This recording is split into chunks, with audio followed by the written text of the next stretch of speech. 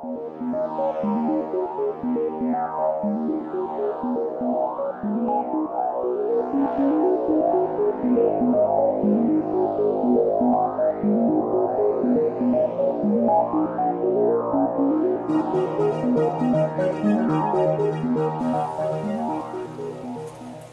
folks, well welcome back to part 3 of the uh, the Tru-Oil stock finish.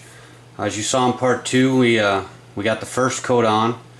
What we're going to do today is we're going to knock down any runs or anything we see. We're going to put on another coat and we're actually going to sand into this a little bit to uh, pick up a little bit of the staining color and we're going to do a, a, grain fill. Once we get that slurry um, kind of taken out we're going to force it sideways into the wood and uh, that'll smooth everything out and make everything look real good. We also, I don't know if you really can tell, but we have a run here that we need to uh, get taken off. I think you can see that on the cam. And that's really it, a little run right here. But those are okay. I mean, that's that's something I don't mind having right now because I want to show you guys how to deal with it anyway. Again, not a big deal. You just knock it down between coats. So let's go ahead and get started. Uh, just like part two, we're going to get our Tru-Oil in the secondary container And again, we're not going to need very much. You can always go back and add if you need to, but...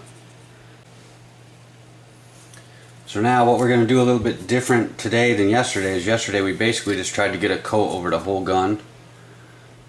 Or the whole stock, I should say. Today I'm going to do probably a, a 3x3 area, and I want it to be somewhat thick. Uh, thicker than I was working on yesterday for sure.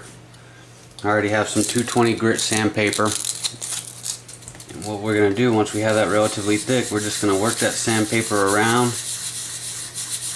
into that. You don't want to burn through the finish or your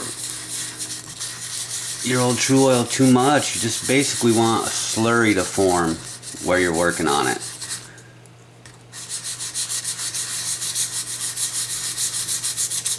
So this is, a, it takes some feel you know, and some practice. Can, if you make a mistake, you know, can always go back and restain if you had to. Uh, but we, we're definitely not trying to do that if we don't have to. so not through yet.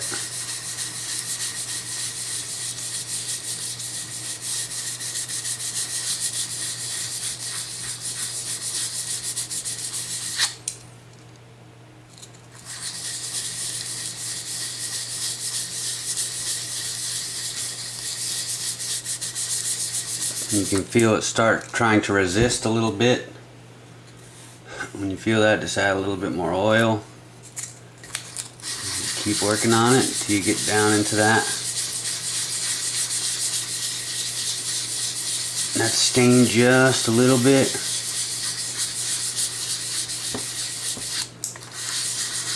And you can kind of see how it's thickening up and you have like a slurry build up there that point you just want to work it across the grain work everything into that grain.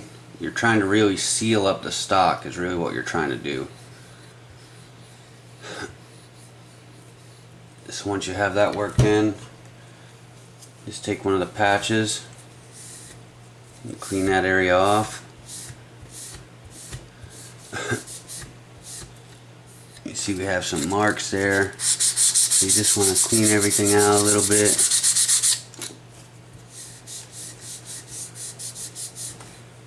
and that's basically you've knocked it down to a satiny kind of finish.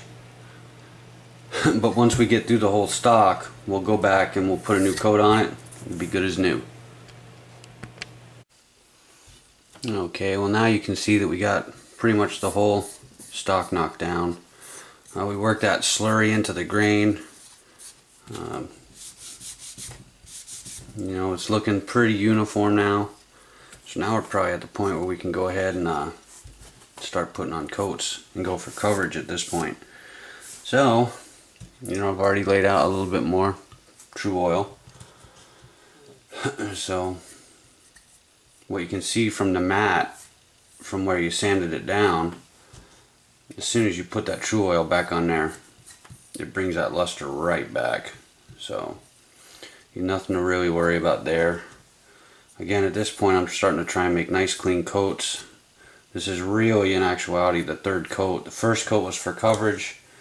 Uh, the second coat was for grain filling and smoothing.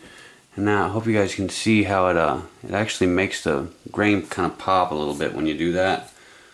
Where the grain kind of stands out a little bit from the rest of the stock. And at this point we're just gonna get a nice coat on there. And now from here on out, if we have a run, we're gonna come back and be a little bit less aggressive. Uh, we'll use like a steel wool like a triple aught steel wool to kind of knock down any runs or any any problems we have. Just kind of try and get everything nice and smooth.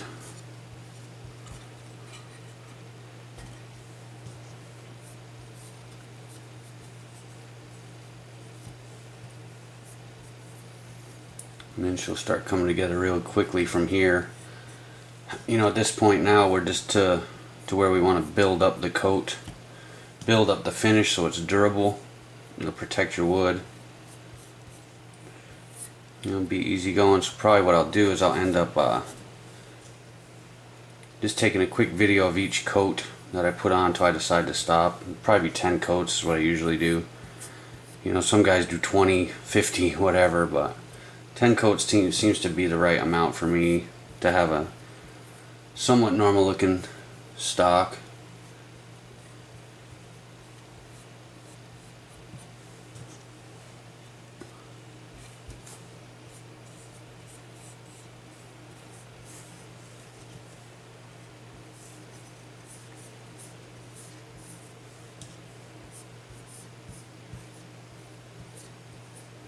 and we'll let this tack up like we did the last time and I'll I'll give you guys a quick peek at it.